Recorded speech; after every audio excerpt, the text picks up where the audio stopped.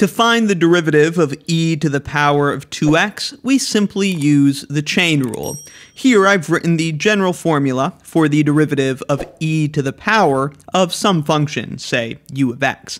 Its derivative is simply e to that function, right? It stays the same, but then you need to multiply by the derivative of that function. So in this case, the derivative of e to the 2x would just be e to the 2x, that doesn't change, but then we need to multiply by the derivative of that inside function. It's just chain rule.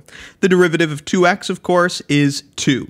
And just for aesthetics, I'll put that factor of 2 in front, because I think that looks better. And that's the derivative. And here are three more you can try on your own. I'm going to put the answers on screen now. Let me know how you did in the comments. Thanks for watching.